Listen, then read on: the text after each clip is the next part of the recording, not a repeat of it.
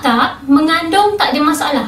Masalah HB, masalah tekanan darah, tinggi ataupun rendah ataupun masalah lain yang teruk macam lawyer ataupun muntah. Okey. Masalah yang masa mengandung macam saya sendiri pun ada alami. Contoh paling teruk ialah HB lah. Bila kita buka buku rekod, HB tu mula-mula start dah merah. Okey, kita tak nak macam tu kan? Lepas tu tekanan darah. Lepas tu bleeding. Awal kehamilan bleeding. Keluar darah. So yang tu berisiko, sangat berisiko takut uh, gugur dan sebagainya. Dan seterusnya masalah kulit. Masalah apa lagi? Uh, um, kata muntah sebab uh, tak lalu makan loya. Lepas tu mulalah kurus kan? Kurus kurus yang sepatutnya kita ada peningkatan berat tapi kurus kat situ. Lepas tu masalah uh, risau pembentukan baby. Kan ada scan kan? Scan berjadual. Uh, doktor akan beritahu pembentukan baby berkembang elok ataupun tak. Lepas tu uh, kejang, sakit, sakit uh, badan, sakit kaki, kejang kebas kaki kan bila kurang kalsium dan uh, masalah orang kata sakit, mudah sakit, mudah demam bila uh, orang kata uh, apa kata duduk sebelah orang sesama kita mudah terkena demam ataupun sesama sebab imun sistem kita rendah. Okey. Untuk orang kata uh, kat sini saya nak tolong uh, perempuan hamil secara sihat. Okey. Okey, kat sini saya nak cerita. Uh, kita cerita testimoni lah, testimoni. Uh, dia ni uh, mengandung uh, satu hingga empat bulan pertama tu dia tak lalu makan kan, di lawyer. Di lawyer, lepas tu uh, doktor risau lah kan, takut baby tak, orang kata tak berkembang dengan baik. Bila kita orang kata lawyer muntah tak lalu makan, jadi daripada, daripada mana nutrisi kita nak dapat? Habis uh, Orang kata vitamin pun tak boleh telan apa semua kan. So dia pun cubalah dengan ESP. ESP. ESP ni dia protein. Protein so um, protein ni terkenal untuk pembentukan sel. Sel kulit, rambut, orang kata tulang, uh, sebagainya semualah semua. So bila dia konsisten amal uh, uh, bila kecil HB apa semua alhamdulillah okey. Okey kat situ. Lepas tu satu lagi dia dinasihatkan ambil protein ni ESP ni sebab dia bleeding. Bleeding pendarahan lah. Pendarahan orang kata rahim dia lemah. Rahim lemah. So dia pun bila dia amal ESP ni maksudnya kat situ uh, uh, orang kata selesai uh, masalah bleeding dan selesai masalah orang kata uh, kenaikan HB dan berat badan. Okey. Seterusnya saya ada soalan lagi ni masalah biasanya orang lawyer lah. Lawyer dan muntah. Dia bila dia tak makan HB dia pergi check. Sebab dia jenis pula jenis yang tak boleh minum yang bancuh-bancuh kan. Macam susu apa ASP ni dia kena bancuh kan. Jadi dia tak boleh. So ASP dia rendah. Rendah. So dia datang jumpa lah suami dia yang datang jumpa.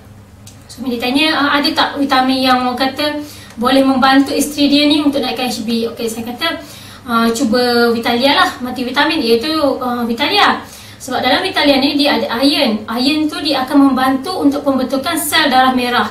Dan orang kata multivitamin tu komplit daripada A, B, C, D, Z sampai Z tu Vitamin dia komplit Komplit maksudnya uh, untuk naikkan HB lah. Okay, untuk naikkan HB Lepas tu bila dia konsisten guna Dengan keadaan dia tak lalu makan Tak lalu makan, makan langsung Apa yang dia makan, dia akan muntah balik. Dengan keadaan macam tu, dia telan Dia paksa telan lah Vitalia ni sebab Saya bagi tahu lah kalau Orang kata tak tak tak usaha makan Nanti baby macam mana kan? Daripada mana dia nak nak kata nak nak bentuk tulang tangan apa semua. So dia pun makan, HB dia naik. Naik pun orang kata 11 dia okey bagi yang orang kata 8. 8 dan ke bawah kan? So 11. So Alhamdulillah uh, uh, uh, graf yang okey.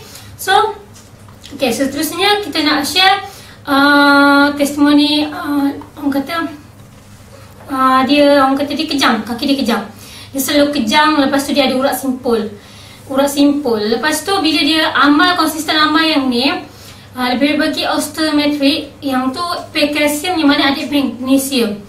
Pil kalsium ni Kita kena make sure dia ada magnesium Sebab Dia umpama macam ni Dia batu-bata kita nak buat rumah tu Kalau bata saja tak ada simen Maksudnya Simen tu magnesium.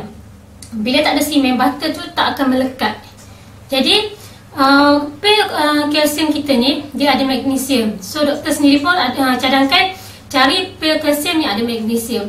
Bila dia konsisten amal sebelum tidur dia makan, dia makan, dia makan. terus dalam keadaan macam tu dia tak ada dah kejang kaki ke urat simpul kan. Okey, lepas tu satu lagi Pil kalsium ni penting untuk kita perempuan. Kita ni macam period kan. Mengandung, menyusu, kita kehilangan banyak kalsium. Kalau kita tak ambil kalsium konsisten, tua kita nanti dalam 40-50 kita dah bongkok tau. Sebab dah kurang kalsium. Lepas tu masa tu macam-macam lah nak bangun. Sebab tu ramai yang orang kata walaupun perempuan tu dia kurus, dia masa solat kan dia nak bangkit tu pun dia rasa sakit. Sakit. Sebab kat lutut kita tu dia sepatutnya dia ada tulang putih tu kan. Bila kurang kalsium lama-lama dia dia hilang. Dia tu jadi bergeser tulang sama tulang jadi sengal, sakit. So sangat penting kalsium. Sebab tu kalau kita tengok perempuan dengan lelaki, perempuan lebih rongak, rongak tak ada gigi. Sebab kurang kalsium kat situ. So okey saya nak cerita complete set uh, hamil kita ada ESP protein yang saya cerita tadi. Lepas tu kita ada Vitalia, kita ada B complex, kita ada vitamin C, kita ada uh, osteometric dan omega gut. Okey, SP ni penting sebab dia protein, dia untuk pembentukan sel. Satu lagi kalau uh, orang amal, baby lahir memang putih gebu lah, boleh jadi anak macam anak cipta. So Vitalia ni penting sebab ada iron. Dia untuk mati vitamin, naikkan HB. Lepas tu uh, orang kata untuk oksigen. Cukup oksigen dalam darah. Okey, lagi pun kalau tak cukup oksigen tak sampai ke otak, kita pun jadi orang kata lupa lah macam-macam masalah. Vitamin C ni untuk yang kuatkan imun sistem lah. Bagi kita elak demam lah, macam-macam penyakit kan. Penyakit kulit. Osteometrik ni kalsium lah. Kalsium yang tadi yang saya cerita. Kalau kurang kalsium, uh, akan menyebabkan kita cepat, uh, kata tua cepat bongkok, uh, gigi rongak kan. Lepas tu B-complex ni uh, anti-stress. Anti-stress dan dalam dia ada folic acid paling penting. Sebab uh, kita nak start mengandung pun kita dah doktor dah suruh kita amal folic acid. Folic acid sangat penting. Lepas tu seterusnya kita ada omega gut. Omega gut ni untuk minda anak. Uh, orang kata dia ada omega yang uh, membantu anak kita ni lahir dia tak orang kata kurang meragam. Ha okey. Itu sahaja. So uh, cuba orang kata saya galakkan amalkan set hamil ni yang terbaik kalau Google pun memang nombor satu di uh, Google. Terima kasih. Assalamualaikum.